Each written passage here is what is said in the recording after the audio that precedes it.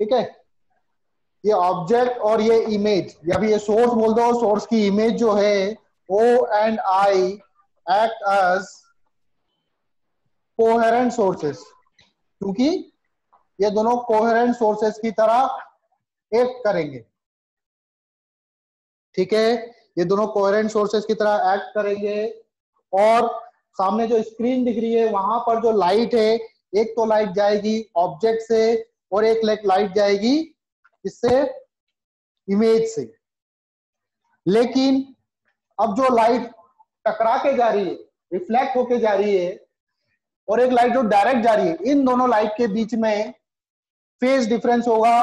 कितना phase difference कितना phase difference होगा? पाई पाई का फ़ेज़ डिफरेंस हुआ। क्यों? क्योंकि हमने पढ़ा था कि जब लाइट रेयर से डेंसर मीडियम में जाती है और रिफ्लेक्ट होती है तो लाइट रिफ्लेक्ट होने के बाद उसका फेस चेंज हो जाता है पाई का। बताया था मैंने। ये जो ग्लास है या फिर ग्लास जो मिरर बना हुआ है, किसका बना हुआ है? ग्लास का बना हुआ है। ये ग्लास से टकरा के रिफ्लेक्ट होके जा रही है तो लाइट का फेस पाई से आगे हो जाएगा। ठीक है? तो इसका फेस क्या हो जाएगा? पाई से फेस फेस दोनों के बीच में फेस डिफरेंस कितना आएगा? पाई आएगा। अब देखो, ये मान लो ऑब्जेक्ट जो है, इस मिरर से कितने डिस्टेंस पर है? ए डिस्टेंस पर है। इस मिरर की जो डिस्टेंस है दैट इज़ बी और ये जो सामने स्क्रीन है, इसकी डिस्टेंस कितनी है? मिरर से सी है। ए बी सी तो यहाँ पर देखो ये ऑब्जेक्ट और स्लिट याद है। स्लिट में क्या होता था? ये दो स्लिट होती थी S1 और S2 इन दोनों के बीच के डिस्टेंस को D बोलते थे। यहाँ पर ये दोनों ऑब्जेक्ट और image act as a slit तो जो स्मॉल डी होगा यहाँ पर, वो टू ही होगा। अब स्लिट से जो स्क्रीन की डिस्टेंस है that is called capital D वो कैपिटल डी कितना होगा? कैपिटल डी क्या? A plus B plus C होगा। इन तीनों का sum A plus B plus C और बीटा बराबर क्या होता है? बीटा बराबर फ्रिंज वेट फ्रिंज वेट मैंने फॉर्मूला पढ़ा था lambda D by two D होता है शायद। Lambda D by two D होता है फ्रिंज वेट तो लैमडा की जगह लैमडा जो लाइट हम यूज़ कर रहे हैं उसको और डी की जगह लिखेंगे A plus B plus C और स्मॉल डी की जगह लिखेंगे टू ई तो कितना आ जाएगा ये? लैमडा डी की जगह लिखेंगे A plus B plus C और टू डी डी की जगह लिखेंगे हम लोग टू ई ठीक है? डी की जगह लिखेंगे टू ई तो फॉर्मूला मैंने सही लिखा है क्या? बीटा बराबर lambda by D by D two D नहीं आता यहाँ पे। लैम्डा डी बाई डी आता है तो सिर्फ़ टू ही आएगा। Fringe width lambda D by D होती है, ठीक है? टू डी नहीं होती है लैम्डा डी बाई डी होती है।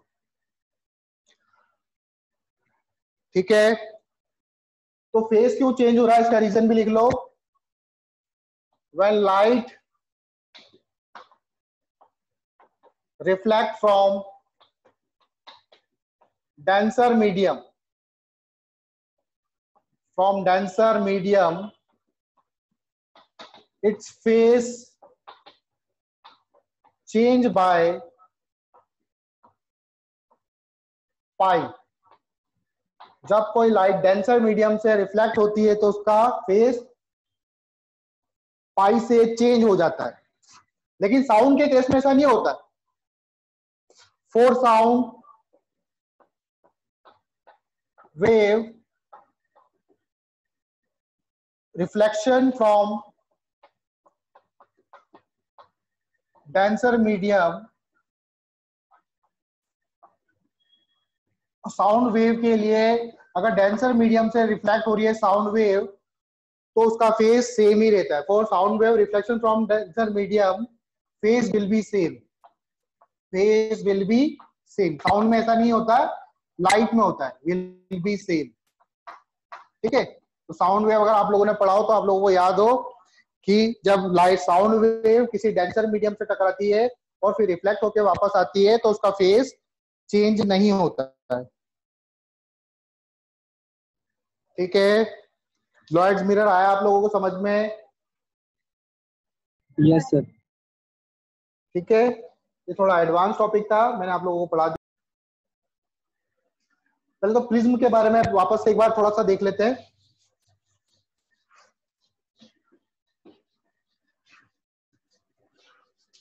प्रिज्म याद है आप लोगों को प्रिज्म? थिन प्रिज्म हमने पढ़ा था। तो थिन प्रिज्म वाला जो कॉन्सेप्ट है वो यूज़ होगा इसमें। टॉपिक डालो Fresnel biprism Fresnel biprism ठीक है तो थिन प्रिज्म के बारे में हम लोगों ने क्या पढ़ा था कि मेरे पास मान लो ये थिन प्रिज्म है तो यहाँ पर अगर ऑब्जेक्ट है तो ऑब्जेक्ट से लाइट ऐसे जा रही है तो ये क्या होगी? ऐसे डेविएट होगी और मेरे को इमेज जो है ऑब्जेक्ट की यहाँ पे दिखाई देगी। मान लो इसका प्रिज्म एंगल है, कितना? A A is the prism angle इसका रिफ्रैक्टिव इंडेक्स है म्यू तो लाइट मुझे यहाँ से आती हुई नज़र आएगी। ये क्या है? डेविएशन डेल डेविएशन होता है डेल तो ये ऑब्जेक्ट और ये आपकी इमेज बनती है, इसको बोलते हैं शिफ्ट तो ये शिफ्ट कितना आता है? शिफ्ट इक्वल टू आता है, आपको याद हो। परपेंडिकुलर अपॉन बेस सपोज़ करो इसकी डिस्टेंस है कितनी? आ, कितनी ली थी हमने? डी मानी थी मान लो। S by D equal to होगा tan del S equal to हो जाएगा क्योंकि जो एंगल है वो छोटा है तो डेल टेन डेल को डेल लिख सकता है इंटू डी और डेल डेविएशन बराबर तीन प्रिज्म के लिए डेविएशन कितना होता है? Mu minus one into D ठीक है? तो ऑब्जेक्ट आपको यहाँ पे दिखाई देता है। ये हमारा प्रिज्म का कंसेप्ट था, जो हमने ऑप्टिक्स में पढ़ा था। ये याद आ रहा है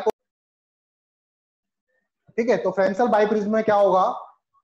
एक प्रिज्म ऐसे सीधा खड़ा हुआ है और दूसरा प्रिज्म इसके जस्ट अपोजिट में, उल्टा। और जो ऑब्जेक्ट है, उस ऑब्जेक्ट को मैं यहाँ रख लूँगा, या फिर जो सोर्स है, मैं यहाँ पर रख लूँगा। इसकी डिस्टेंस यहाँ से कितनी है? ए इसका प्रिज्म एंगल है, इसका भी प्रिज्म एंगल कितना? ए सेम एंगल के होंगे दोनों। सामने मेरी स्क्रीन होगी। अब क्या होगा, यहाँ से जब लाइट जाएगी ऐसे करके तो ये थोड़ा सा क्या होगी, जब अंदर जाके डेविएट होगी, ऐसे करके इधर लाइट जाएगी। इससे भी लाइट ऐसे करके डेविएट होगी और फिर ऐसे करके लाइट जाएगी। ठीक है? अब ये जो लाइट यहाँ पे गई तो कहाँ बनेगी? यहाँ पे गई इसको हम बोल देंगे आई वन आपका ऑब्जेक्ट हो गया, और यहाँ से लाइट गई ये क्या होगा आपका आई टू तो आई वन और I two I one and I two act as two coherent sources two coherent sources की तरह एक्ट करेंगे। ठीक है, ये वाली डिस्टेंस कितनी हो जाएगी? अगेन एस बराबर mu minus one into D D की जगह हमारे यहाँ पर क्या है? ए तो ये डिस्टेंस कितनी हो जाएगी? म्यू माइनस वन दिख रहा है आप लोगों को इधर।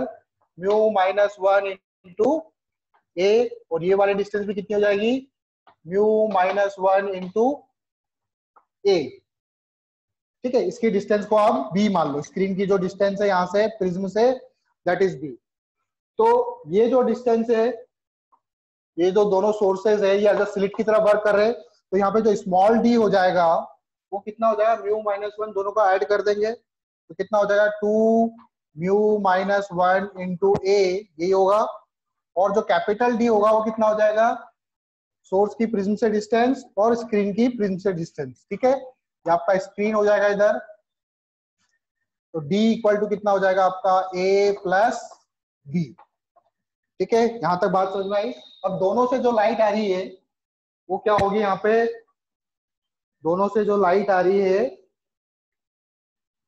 वो दोनों से लाइट जो इंटरफेयर होगी और हमारा यहाँ पे इंटरफेरेंस पैटर्न बनेगा। ठीक है? अब देखो कैसे बनेगा। कहाँ कहाँ पे कौन कौन से रीजन पे बनेगा? तो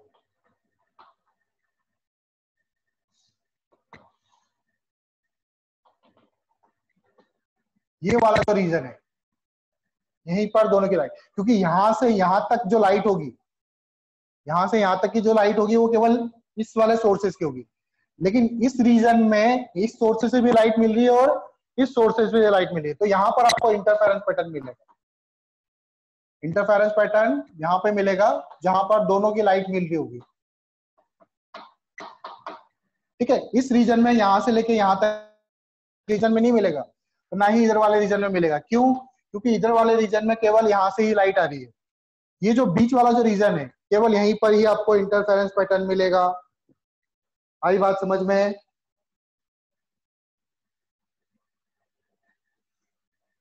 तो देखो नंबर ऑफ़ फ्रिंजेस में कैसे निकालेंगे? सबसे पहले तो बीटा निकाल लेते हैं। बीटा का फॉर्मूला क्या है? सेम फॉर्मूला लगेगा। बीटा बराबर होता है lambda capital D upon small D capital D का काम कौन कर रहा है यहाँ पे? ए प्लस बी तो बीटा इक्वल टू हो जाएगा लैमडा कैपिटल डी आपका हो जाएगा ए प्लस बी अपॉन नीचे आ जाएगा क्या? Two mu minus one into A ठीक है, ये हमारा क्या निकल जाएगा? बीटा सपोज़ करो जो यहाँ पर इंटरफेरेंस फ्रिंजेस मिल रही है, जिस पैटर्न मिल रहा है, ये इसकी डिस्टेंस कितनी है? एक्स तो कितनी फ्रिंजेस मिलेगी मुझे निकालना है? तो नंबर ऑफ़ फ्रिंजेस कितनी हो जाएगी? नंबर ऑफ़ फ्रिंजेस एक फ्रिंजेस की चौड़ाई है बीटा तो नंबर ऑफ़ फ्रिंजेस कितनी हो जाएगी? एक्स बाय बीटा यही तो होगी। अगर एक्स मेरा क्या है? जहाँ पे इंटरफेरेंस पैटर्न मिल रहा है, वो रीजन है। और एक फ्रिंजेस की चौड़ाई है विड्थ है lambda A by plus B by divided by two mu minus one A तो अगर मैं इसको डिवाइड कर दूँ तो मुझे ठीक है माइक बंद करो, इंदर। तो मुझे क्या मिल जाएगा? मुझे नंबर ऑफ़ फ्रिंजेस मिल जाएगी। ठीक है तो डिवाइड करते हैं हम लोग।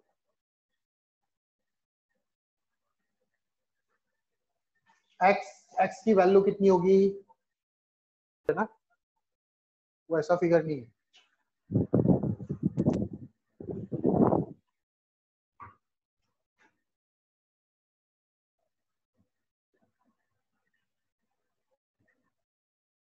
ऐसा कुछ फिगर है। ऐसे है प्रिज्म ठीक है, इसको सही कर लो। ये लाइट गई यूँ करके डिवेट हुई। ठीक है लाइट आई यहाँ से। यहाँ पे आपका ऑब्जेक्ट एक लाइट गई यूँ करके डेविएट हुई। सॉरी लाइट यूँ गई डेविएट हुई। यहाँ पे इमेज बनेगी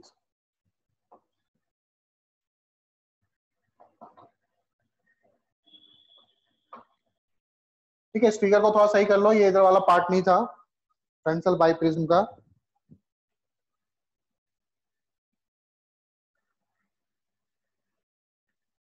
और एक लाइट ऑब्जेक्ट ऐसे करके जा रही है. और ये फिर ऐसे डिवेट हो रही है. और एक लाइट इधर की तरफ़ डिवेट हो रही है. ठीक है, देखो यहाँ पे number of fringes X by beta निकाल लेंगे।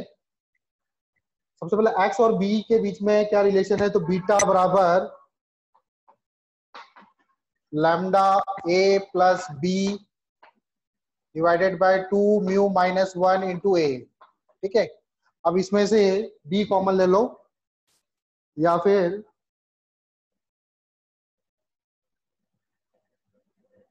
lambda two mu minus one common ले लेते हैं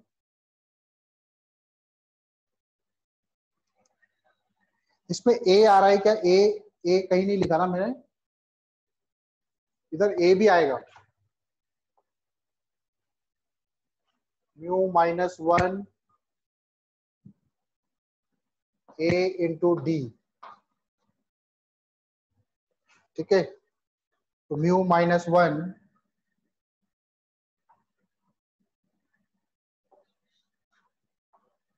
कौन में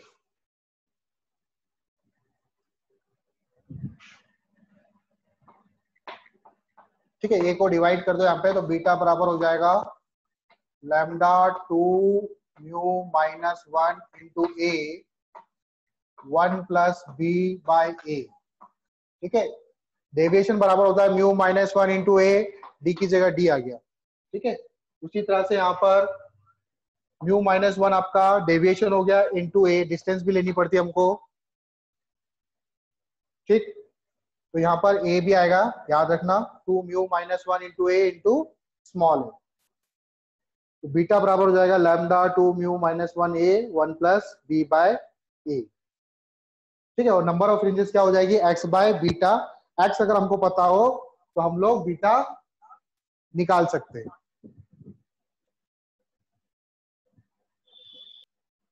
एक चीज़ और देखो।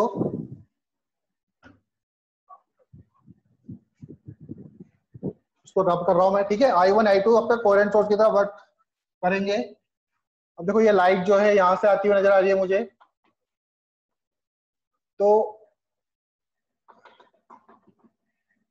यहाँ से लेके आते हैं। इसका मिडल पॉइंट है, ये एक्स बाई टू और ये बी कहाँ तक बी है?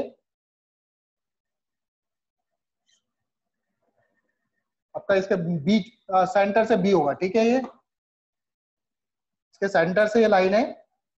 तो X by upon two B equal to देखो, इस वाले ट्राइंगल में ये distance A mu minus one A mu minus one ये वाला एंगल और ये वाला एंगल ये इसका बेस इसका हाइपोटेन्यूस और इसका बेस ये एंगल दोनों बराबर होंगे ना?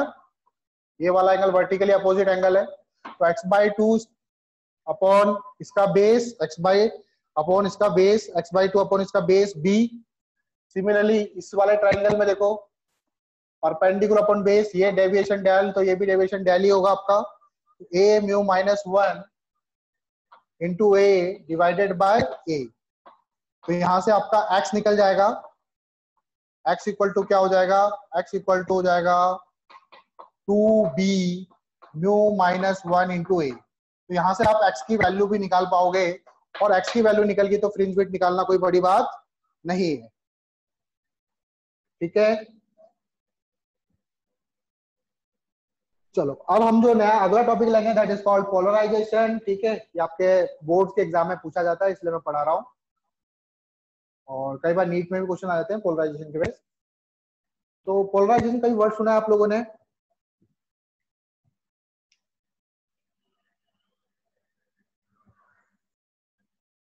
पोलराइजेशन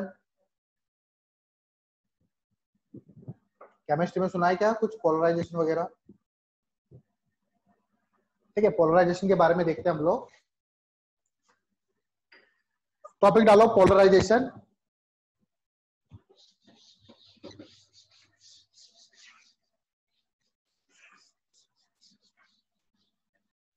मारिया, आपने वे ऑप्टिक्स पढ़ लिया?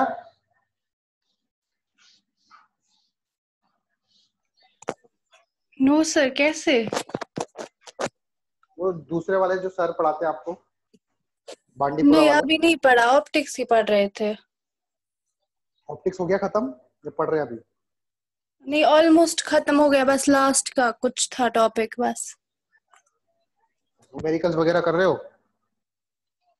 जी सर वो सर करवाते हैं न्यूमेरिकल्स करवाते हैं सर जी सर हाँ कराते हैं न्यूमेरिकल्स भी अच्छा अच्छा वो तो बोर्ड वाले न्यूमेरिकल्स करवाते हैं ना। हाँ बोर्ड वाले भी और कुछ नीट वाले भी कराते हैं। ठीक है तो मेरी शीट वाले जो क्वेश्चन है वो पूछ लेना उन सर से। शीट में जो क्वेश्चंस में प्रॉब्लम आए एक बार उनसे पूछ लेना। ठीक है? जी सर और वे ऑप्टिक्स नहीं मेरे से ही पूछ लेना ऐसी कोई बात नहीं। हम दोनों ही मिलके आप लोगों को फिजिक्स पढ़ा रहे हैं ठीक है? तो नॉलेज जहाँ से मिले वहाँ से आप गेन कर लो ठीक है? इसमें कोई वो नहीं है। ऐसा नहीं बोला कि मैं ही फिजिक्स में सबसे बेस्ट हूँ। ये कहने का मतलब नहीं है मेरा। आपको जहाँ से नॉलेज अच्छी मिले वहाँ से लो ठीक है? सर इसलिए तो चलो आप लिखो टॉपिक डालो पोलराइजेशन पोलराइजेशन क्या होता है पोलराइजेशन इसके बारे में पहले हम बाद में बात करेंगे। सबसे पहले तो वेव जो होती है, वो दो तरह की होती है। वेव होती है कौन सी? Wave are of two types ठीक है? थोड़ी सी थ्योरी है। बोर्ड लगे तो बता देना। Wave are of two types शायद आप लोगों को मज़ा आएगा बायो के बच्चे इसलिए दो तरह की वेव होती है। एक होती है लॉन्गिट्यूडनल वेव लॉन्गिट्यूडनल वेव किसको बोलते हैं? लॉन्गिट्यूडनल वेव किसको बोलते हैं? ऐसी वेव जिसमें पार्टिकल्स जो होते हैं, वो टू एंड फ्रो वाइब्रेट करते हैं।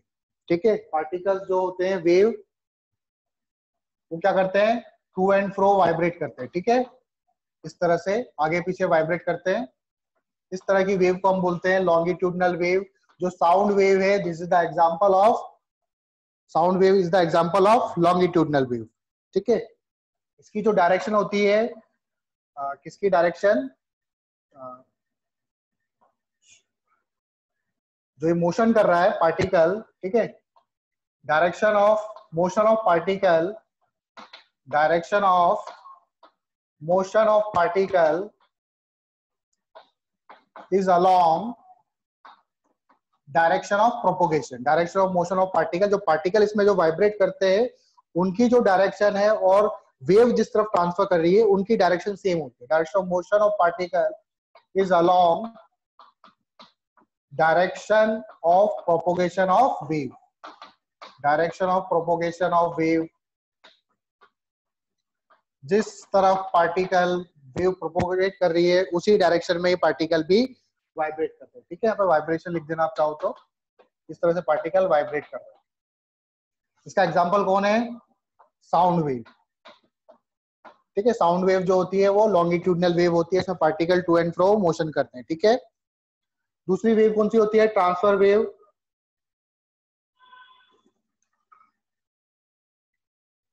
इसमें पार्टिकल जो होते हैं ट्रांसफ़र वेव ट्रांसफ़र वेव में जो पार्टिकल होते हैं particle oscillate oscillate perpendicular to direction of propagation perpendicularly vibrate करते हैं। मान लो वेव इधर जा रही है तो पार्टिकल ऊपर नीचे होगा, ठीक है? डायरेक्शन ऑफ़ प्रोपोगेशन ठीक है? आप लोगों ने वेव में पढ़ा होगा शायद। तो जैसे वेव इस तरफ़ जा रही है तो पार्टिकल जो होंगे वो ऊपर नीचे वाइब्रेट करेंगे इस तरह से। तो इस तरह से रिप्रेजेंट करते हैं हम लोग इसको।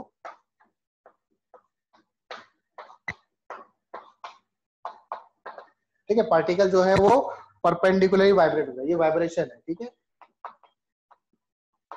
और इस तरफ़ क्या है आपका? Direction of propagation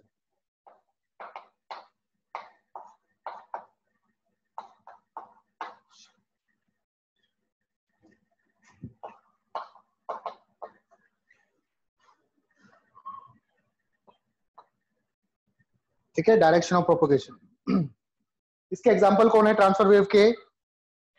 transfer wave के एग्जांपल है लाइट वेव या फिर electromagnetic wave this is the example of electromagnetic wave ठीक है? इसमें क्या होता है? इलेक्ट्रिक फ़ील्ड और मैग्नेटिक फ़ील्ड परपेंडिकुलरली लाइट इधर जा रही है तो परपेंडिकुलरली वाइब्रेट करते रहते हैं इलेक्ट्रिक फ़ील्ड और मैग्नेटिक फ़ील्ड ठीक है? नोट कर लिया इसको।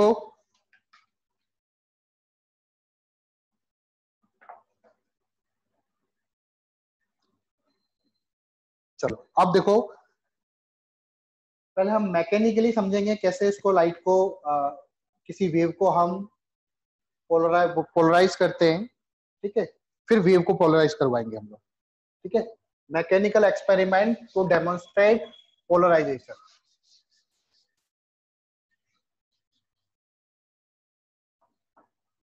mechanical experiment to demonstrate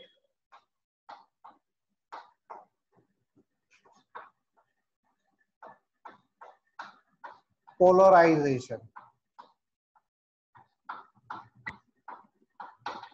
ठीक है mechanical experiment to demonstrate polarization suppose करो मेरे पास एक वेव है यू करके। ठीक है, कौन सी वेव है पार्टिकल ऊपर नीचे वाइब्रेट करे तो ट्रांसफ़र वेव है। ठीक है लॉन्गिट्यूडनल वेव की बात नहीं कर रहा हूँ मैं।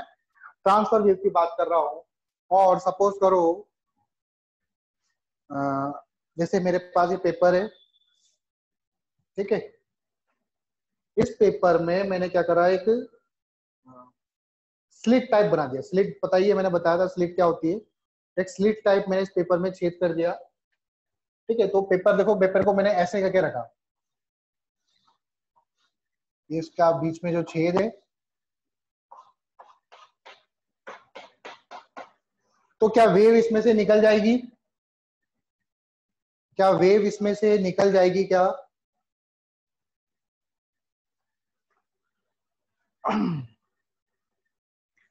ठीक है तो स्लिट को मैंने कैसे रखा? वर्टिकल स्लिट स्लिट को भी वर्टिकल रखा मैंने। और जो वेव है, ये वेव कौन से प्लेन में वाइब्रेट कर रही है? अगेन ये वर्टिकल प्लेन में वाइब्रेट कर रही है। तो ये क्या होगी? वेव आपकी इस तरह से वाइब्रेट करते हुए बाहर निकल जाएगी। वेव पे कोई फ़र्क नहीं पड़ेगा, ठीक है? तो ये लाइट क्या पोलराइज हुई? इसको अभी बोलेंगे हम पोलराइजेशन नहीं हुआ। ठीक है?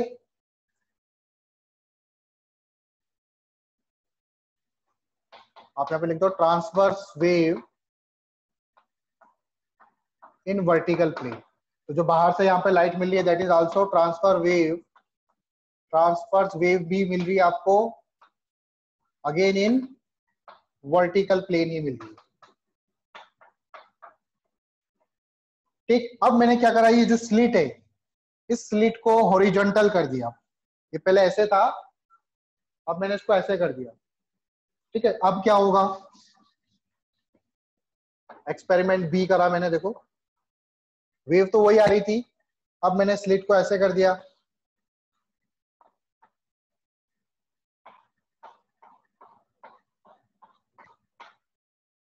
अब क्या वेव पास हो जाएगी?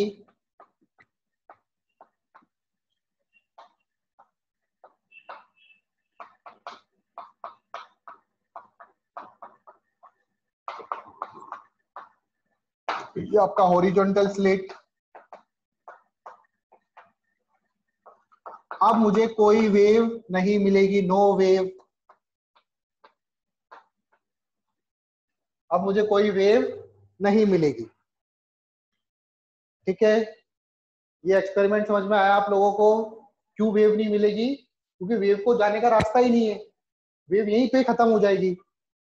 यहाँ पे क्या हो रहा है? वेव कंप्लीटली वाइब्रेट कर पा रही है। तो स्लिप भी वर्टिकल स्लिप में तो वाइब्रेट कर पा रही है तो पार्टिकल बाहर निकल यहाँ पर